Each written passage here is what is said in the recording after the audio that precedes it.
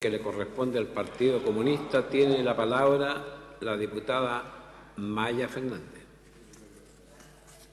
Muchas gracias, presidente. Agradecer al Partido Comunista por los minutos.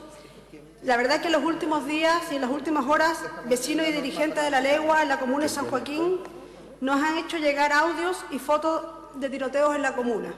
Han sido dramáticos y esto tiene angustiado a los vecinos y vecinas, especialmente a los niños y adultos mayores que se han visto tener que estar encerrados en sus casas y no poder salir dado los tiroteos.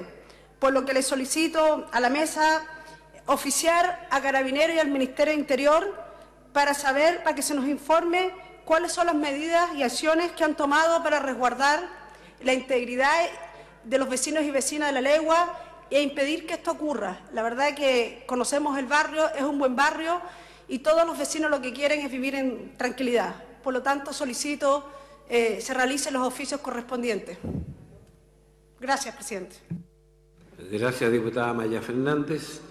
Los oficios que usted ha solicitado, la mesa está tomando la nota de vida y se adhiere quién con su, con su brazo está levantando la mano.